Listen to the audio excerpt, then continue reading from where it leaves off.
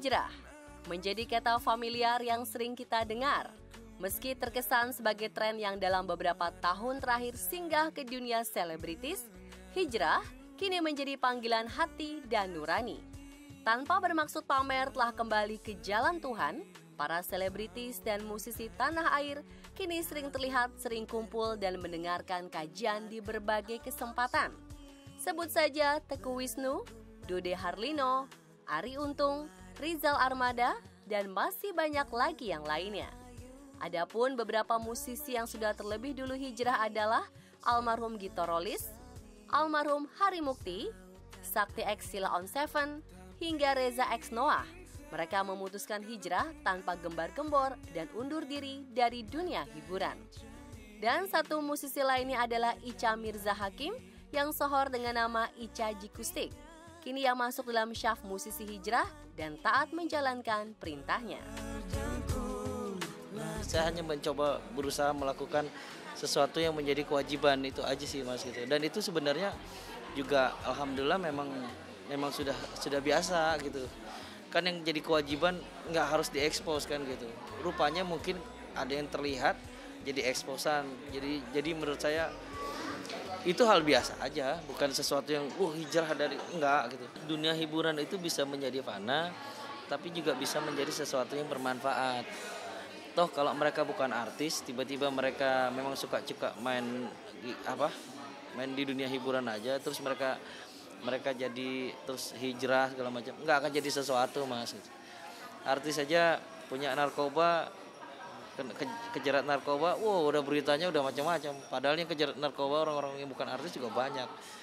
Jadi menurut saya apa tergantung kita aja sih memanfaatkan itu gitu. Musisi selanjutnya yang hijrah adalah Yuki Pasben.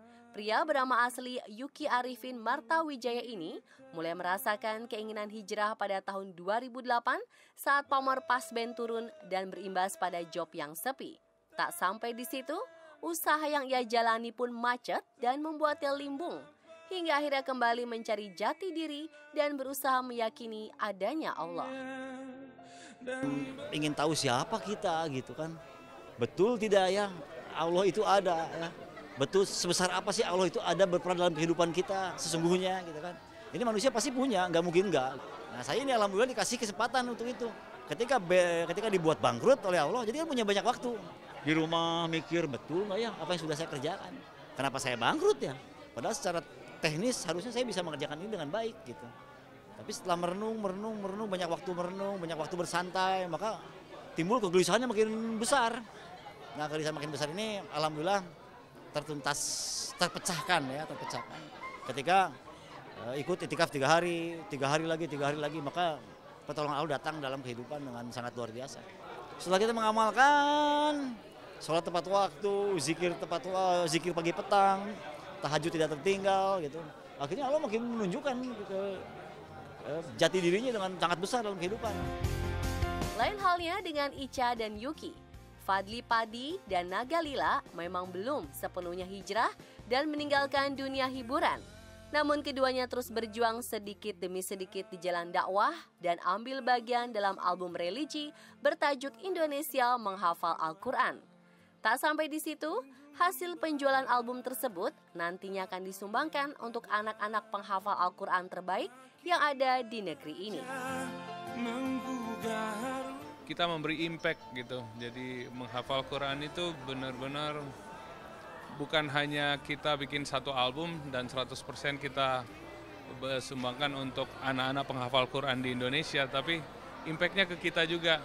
Uh, kita sudah sampai di mana, kita kita uh, sudah apa yang kita sudah lakukan gitu. Uh, bagaimana kita membumikan Al-Quran ini ya, tuntunan ini pedoman hidup kita.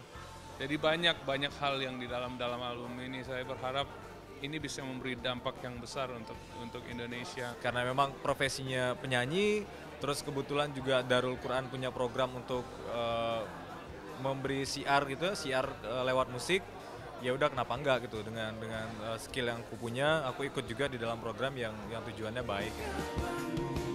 Cukup seringnya para selebritis dan musisi membuat kajian islami bertemakan hijrah Fadli dan Naga mengaku kerap diajak untuk bergabung. Namun akibat waktu yang belum tepat, keduanya tak bisa hadir mengikuti kajian. Masya Allah saya uh, diajak, cuman memang waktu itu saya nggak sempat uh, tak waktunya nggak ketemu. Tapi yang pasti ya itu hal yang luar biasa karena itu sebenarnya apa ya teman-teman artis itu musisi public figure itu tugasnya memberi impact kan sebenarnya. Memberi impact aja gitu. Impact ke nggak usah mungkin sebanyak apa followersnya atau fansnya. Sebenarnya impact itu yang dibutuhkan. Ada beberapa kali diundang dengan teman-teman untuk ikut di pengajian gitu. Sebenarnya ya mungkin kemarin karena berbenturan ya, jadwalnya nggak bisa akhirnya sampai sekarang belum belum belum bisa ikut bergabung